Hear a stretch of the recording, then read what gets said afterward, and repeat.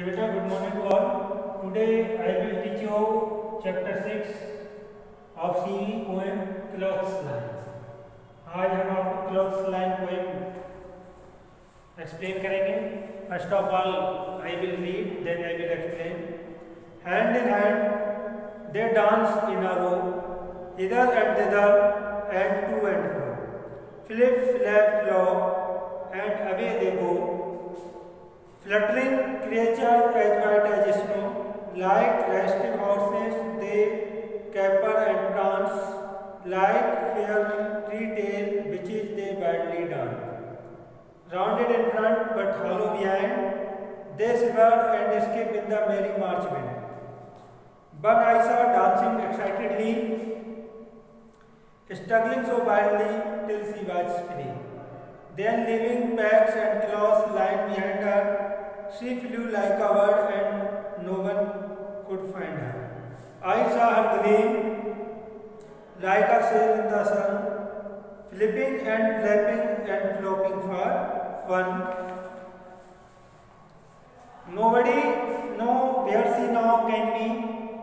Hid in a ditch or drowned in the sea, she was my handkerchief not long ago.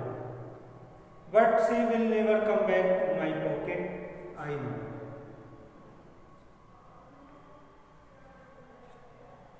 ये जो poem है बेटा आपकी Charlotte dude कोले ने लिखी है। ये आपकी सीवी की पोएम है। सन बोर्ड जो आपका चैप्टर सिक्स है। उसमें जो पोएम है द क्लॉथ्स लाइफ ये पोएम है। आज हम आपको एक्सप्लेन करते हैं। तो देखिए, इसमें एक तो जो वर्ड है फ्लटरिंग फ्लटरिंग का मतलब होता है fluttering moving lightly and quickly हल्के हल्के और धीरे धीरे फड़फड़ाना रेस्टिव रेस्टलेस बेचैन कैपर एक शॉर्ट जंप कैपर कहलाती है और वो ऐसी जैसे कि डांसिंग मूवमेंट हो। डांसिंग मूवमेंट की तरह वो आपका शॉर्ट जंप कहलाता है।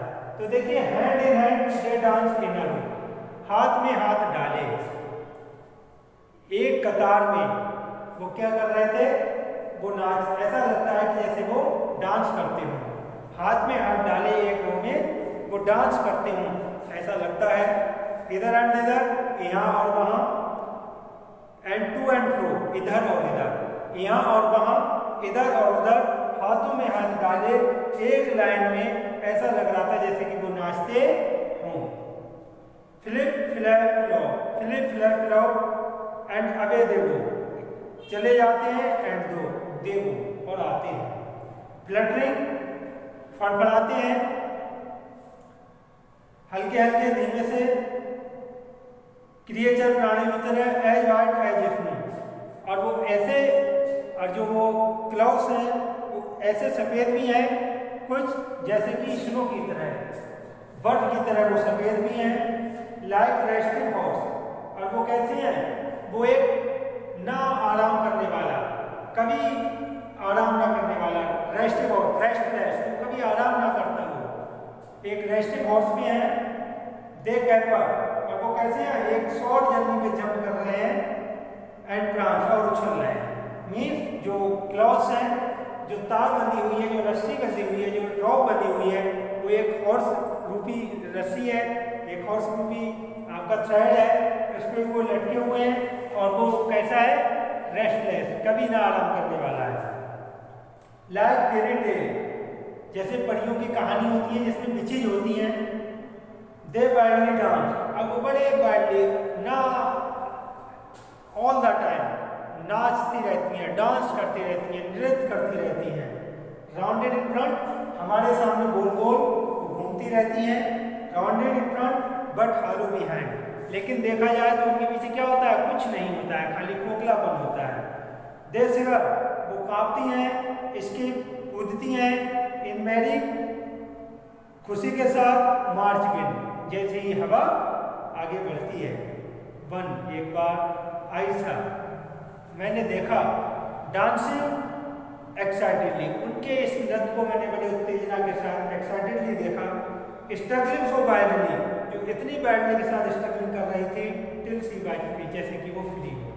देर तक लिविंग पैक्स उन्होंने अपने पैक्स को छोड़ दिया, खूंटियों को छोड़ दिया। मीन्स जो उन पे वो लगी हुई थी, जिसे हम कहते हैं चिमटी।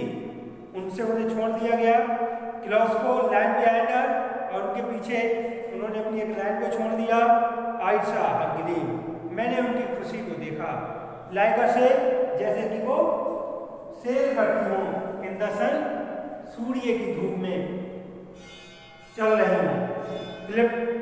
Flipping and flapping and clapping for fun flipping करते हुए फ्लैप करते हुए फ्लॉपिंग करते हुए, धूप में वो अपनी लगातार डांस कर रही है। नो बडी नो लास्ट कह रहा है नो बडी नो कोई नहीं जानता। There see no can be कि वो कहाँ हो सकती हैं? हिडन डिच कि वो या एक गड्ढे में छिप सकती हैं? और बॉन्ड इन द सी या समुद्र में जाकर के भीग सकते हैं? सी बाज माई हैंड करते और वो क्या थी? मेरा रुमाल थी। मेरा हैंकी थी।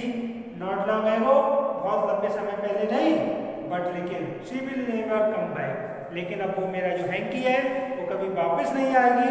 टू माई पॉकेट मेरे पॉकेट में आई नो जैसा कि मैं जानता हूँ। तो ये बेटा आपका, ये आप देख ही रहे हैं, ये जो क्लॉथ लाइन जो है, ये आपकी जो सलालीस घोष्ट जो आपका चैप्टर सिक्स है सीरी का, उसकी ये पोएम है। ये पोएम आपकी एक्सप्लेन हो गई, इसका जो वर्क है वो नेक्स्ट ऑन टुमारो ओके बेटा? Bye thanks